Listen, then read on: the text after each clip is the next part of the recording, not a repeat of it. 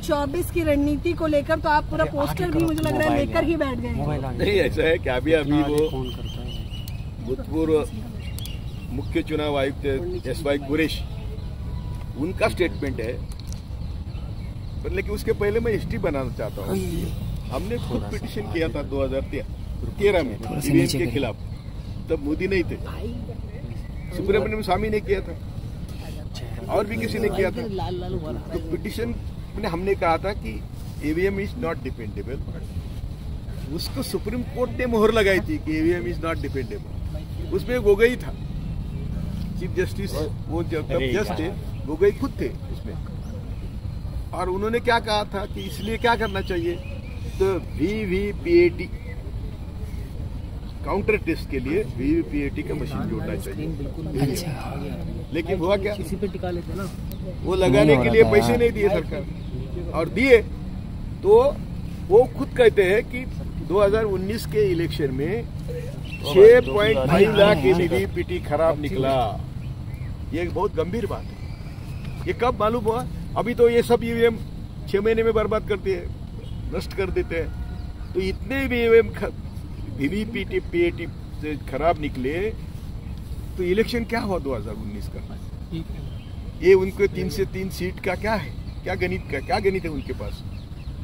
ये तो पुरावे के साथ है, वो खुद कहते हैं। और दस, उस सुप्रीम कोर्ट के ऑर्डर में हमारे यही कहा था कि ये डिपेंडेबल नहीं है, इसलिए काउंटर चेक के लिए वीवीपीएटी का मशीन लगाना चाहिए। वीवीपीएटी में भी फ्रॉड होता है, ये अभी इन्होंने बताया।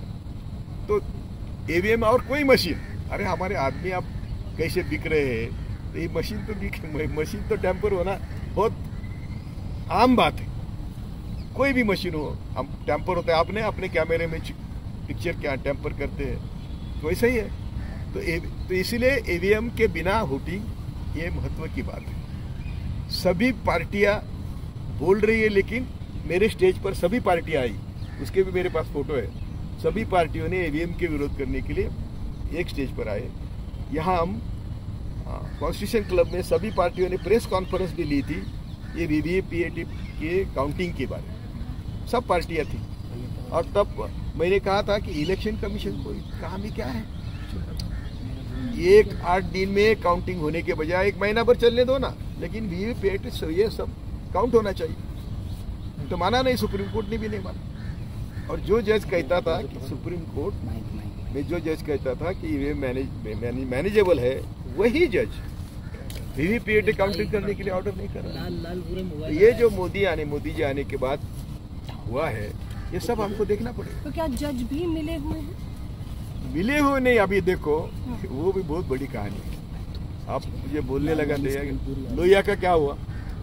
लोहिया के सामने क्या था?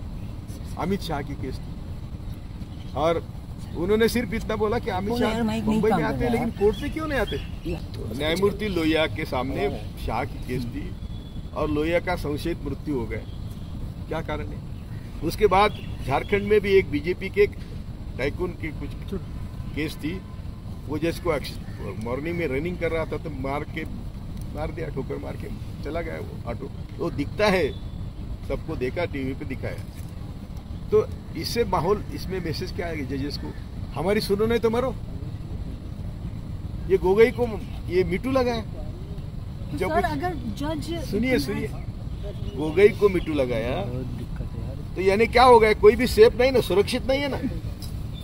और शायद जजेस को भी ब्लैकमेल किया जा रहा है। जजेस को भी ब्लैकमेल किया जा रहा है। तो इसलिए जजेस भी बेचारे लेकिन फॉर्चुनेटली अभी आठ नौ साल के बाद जस्टिस चंद्रचूड़ के लीडरशिप में, अभी कल जस्टिस गवई का जजमेंट है। ये सब सब, ये सब लोग हमारे महाराष्ट्र के फुले शाह अंबेडकर के भूमि में पले पोसे हुए बच्चे हैं। बच्चे कहता हूँ इनके लोग कि मैं उनको बचपन से जानता हूँ। तो इसलिए आजकल तो थोड़ा कोर्ट काम कर रहा है। यदि 370 है, ये दो चार मैटर उन्होंने डिसाइड किए तो इनका सब पोल खुल जाएँगे। तो जुडिशरी अभी अच्छा काम कर रही है। लेकिन ईवीएम के बारे में इतने बार सुप्रीम कोर्ट गए तो सुप्रीम कोर्ट भी कितना काम करेगा? काम करने के लिए। तो हमको जनता को रास्ते पर आना चाहिए। मैं हमेशा बोलता हूँ कि संविधान के दायरे में महात्मा गांधी ने दिशा दिखा, दिखाए रास्ते पर अहिंसात्मक मार्ग से हमें रास्ते पर आके लड़ना होगा। जब संसद आवारा हो गई तो रास्ते पर हमें आना पड़ेगा। सर जो ईडी के डायरेक्टर हैं संजय मिश्रा उनका गवर्नमेंट ने एक अध्यादेश ला के केंद्र मोदी सरकार ने उनका कार्यकाल बढ़ा रही है लेकिन उसको सुप्रीम कोर्ट ने ये फक्त अध्यादेश नहीं उसके बाद कानून भी किया। हाँ।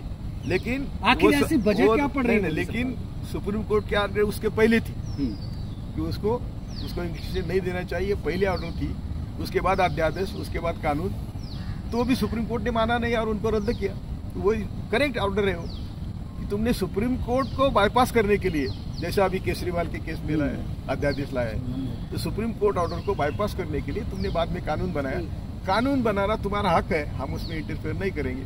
लेकिन कानून के पहले हमारे ऑर्डर है, उसको इम्प्लीमेंटेशन करना चाहिए, इसलिए संजय को घर भेजा। अच्छा सर, आपने एक बड़ी बात कही, आपने कहा ईवीएम का घोटाला पोस्टरों में छपा, अखबारों में भी आया। बावजूद इसके उस पर कुछ खास कार्यवाही की भी जा रही थी तो उसका जो परिणाम हुआ वो देखने को मिला। तो न्यायाधीश के रूप में अगर आपके ये शब्द हैं तो आम जनता कितनी लाचार और बेबस है फिर इन चीज़ों को लेकर? अरे आपको हम वही बोल रहे हैं ना मोदी क्या बोल रहे हैं? तुम मुझे कितने भी गालियाँ दे दो। मेरी घर पर में थैली जा रही है उसमें मेरा फ़ोटो है। पाँच किलो धान जा रहा है। वो कुछ अभी अभी वो शायद वो ये जो बेरोजगार बच्चे हैं ना युवा हम्म। उनको दो तीन हज़ार रुपये शुरू करेंगे। उन्होंने पैसे बचाए कहाँ से बचाए बोलते रशिया से पेट्रोल आया सस्ते में।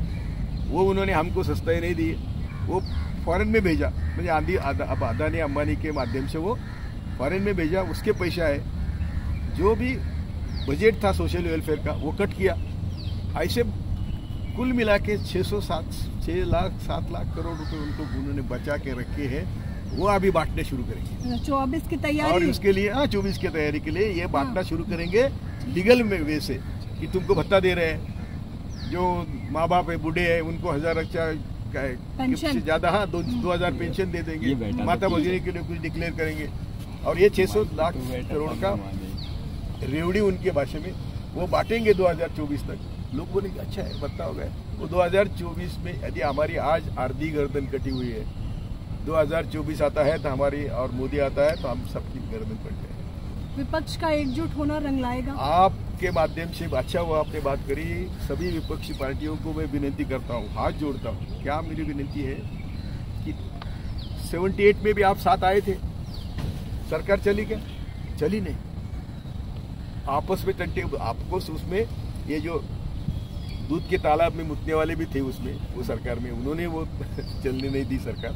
लेकिन अभी फिर सरकार यदि वैसी सरकार आती है और एक दो साल में जाती है तो मोदी सबको काट के छोड़े छोड़ेगा नहीं चिंता तो इसलिए मैं सभी अपोजिशन पार्टी को आपके माध्यम से विनती करता हूँ, हाथ जोड़ता हूँ कि इतना कॉन्क्रीट सरकार बनाओ कि सब देश के लोगों को लगना चाहिए कि मेरी सरकार सभी विपक्ष, ऐसे साथ आओ, ऐसा तुम्हारा एजेंडा होना चाहिए कि जो एजेंडा सबको लगे कि मेरे लिए और ये सरकार पक्की सरकार होनी चाहिए जिसमें हम सबको लोगों को न्याय दे सही मायने में न्याय दे। मोदी जैसे ढोंग नहीं करेंगे पाखंड नहीं करेंगे अमित शाह जैसा ढोंग नहीं करेंगे।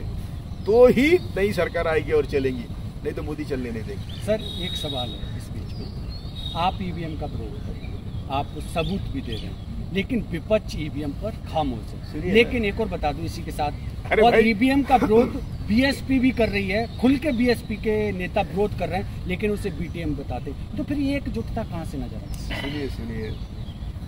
कोई ये सभी पार्टियाँ कभी न कभी पावर में थी। हम्म। कभी न कभी उन्होंने गलती करी है। हम्म। कुछ न कुछ गलती हुई है। तो उनका बाप बन गए ईडी अभी।